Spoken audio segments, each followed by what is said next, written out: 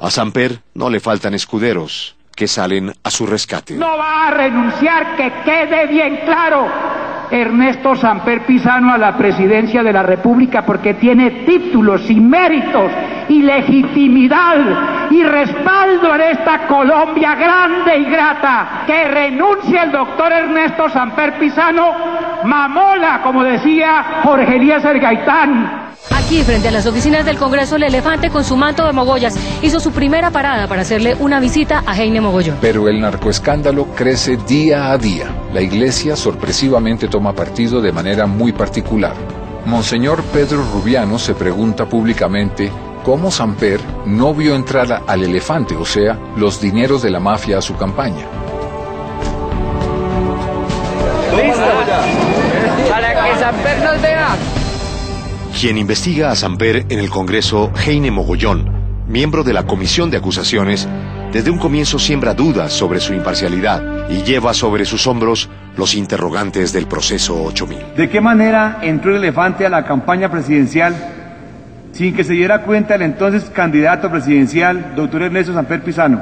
Esa es una pregunta que no tiene en absoluto ni concierne a la investigación realizada por el representante investigador y sus colaboradores, porque se investigó fue la conducta del presidente de la República.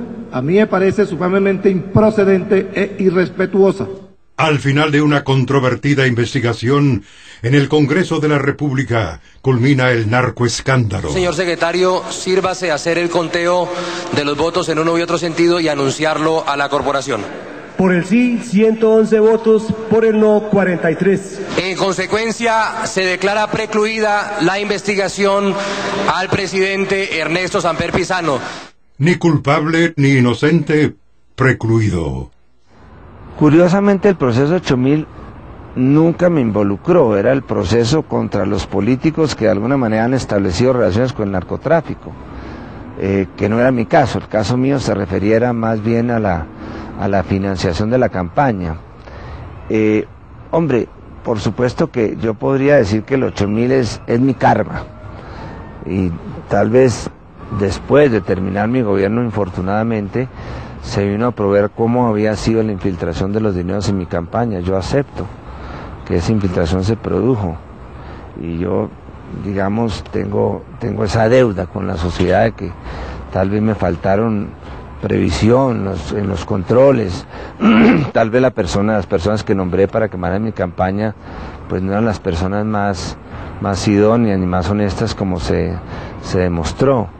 Y por supuesto yo Estoy dispuesto a pedir perdón por esa equivocación que cometí.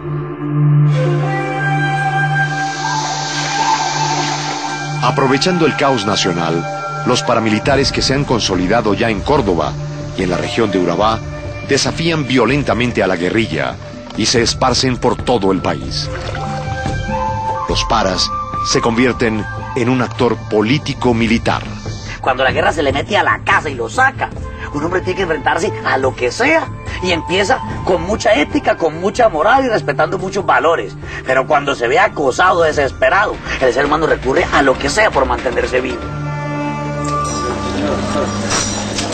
La guerrilla sigue recogiendo sus frutos en decenas de poblaciones indefensas.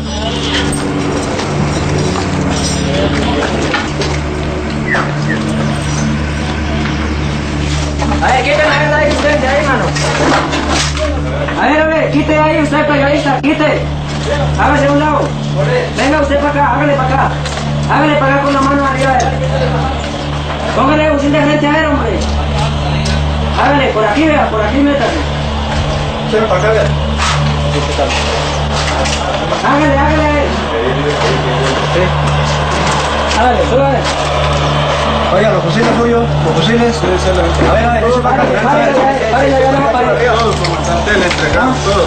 Le entregamos todos. Todos los que habíamos ahí. Todos los que habíamos ahí. Todos los que habíamos ahí, como no se los entregamos. Bueno,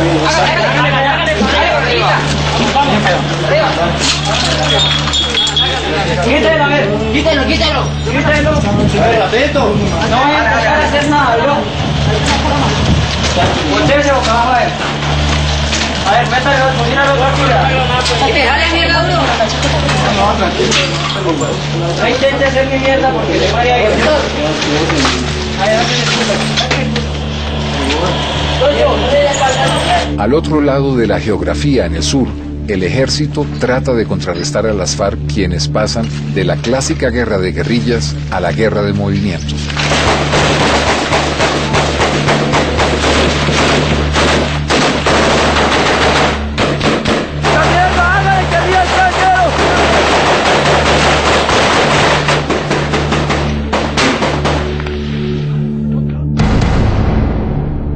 Las FARC comienzan a hacer prisioneros del ejército y la policía lo que no habían hecho hasta entonces. Decenas de militares y civiles son llevados al sur para ser encerrados en verdaderos campos de concentración.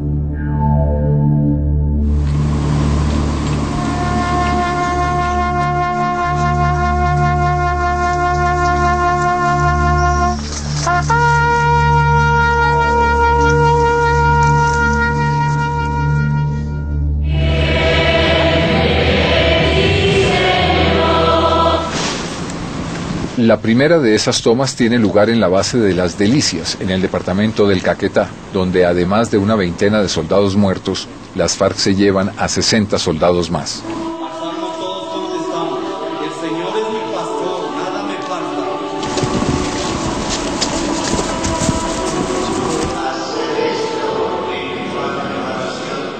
Cartagena del Chairá, Caquetá, nueve meses después.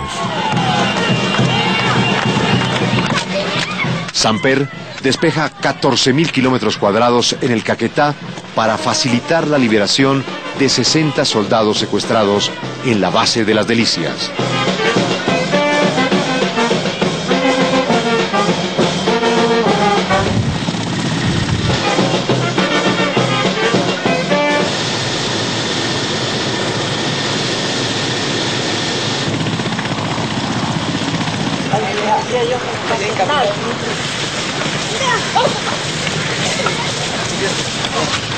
Las FARC hacen un despliegue inusitado de sus tropas, aprovechando la presencia de los medios de comunicación del país y del mundo.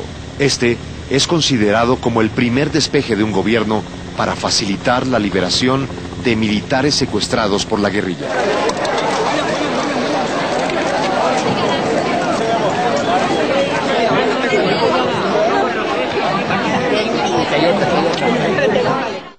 Por estos días, en el Caquetá, santuario legendario de las FARC, la coca es la moneda que todo lo compra. Muy buenos días. Don Omar, vengo a llevarme unas bañitas aquí, una remesita poquita, lo, lo, único que no tengo es plata. Yo soy una trabajadora sexual. Eh, tenemos ahorita en estos momentos que intercambiar, diciéndolo vulgarmente, polvo por polvo. ¿Qué valen estas vainitas, esta remesita y y pues así mismo para cancelarle con, aquí tengo un puchito de una metita para pagarle. Se puede imaginar que 650 vale un gramo. Nosotros estamos recibiendo 15, 16 gramos por acostarnos con cualquier hombre. De todas maneras, nosotros, así sea para comernos un bocado de comida, tenemos que sacar polvo para pagar. Porque aquí no he visto hace más de cuatro meses, ya va a ser cuatro meses que no se ve un billete de 10 mil.